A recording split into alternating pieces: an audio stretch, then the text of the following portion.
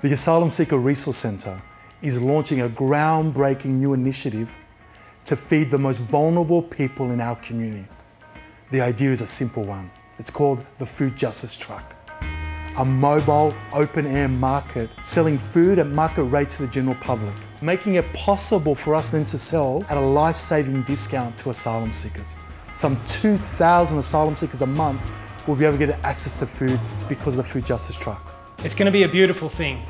Imagine people filling their baskets with a healthy, well-rounded selection of foods for the first time in months, maybe even years. We're creating a new business model, a hybrid social enterprise that prioritises people, not profits, enabling us to reinvest in that same good, healthy food for asylum seekers at a price they can afford. How can we sell food that's worth 20 bucks at a supermarket for five bucks? It's called compassion, innovation, a little bit of ingenuity, and the support of people like you. The ASRC and the Food Justice Truck represents the strong, compassionate side of all of us in Australia. It's food, it's justice, and it's coming to a neighbourhood near you. Build a better Australia with us. Donate now and help get the Food Justice Truck on the road.